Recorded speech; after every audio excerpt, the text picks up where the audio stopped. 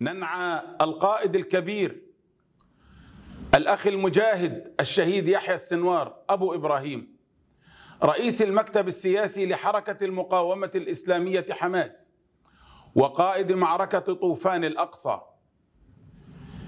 الذي ارتقى بطلا شهيدا مقبلا غير مدبر ممتشقا سلاحه مشتبكا ومواجها لجيش الاحتلال حتى آخر لحظة من لحظات حياته. في مقدمة الصفوف يتنقل بين المواقع القتالية صامدا مرابطا ثابتا على أرض غزة العزة. إن هؤلاء الأسرى لن يعودوا لكم إلا بوقف العدوان على شعبنا في غزة والانسحاب الكامل منها.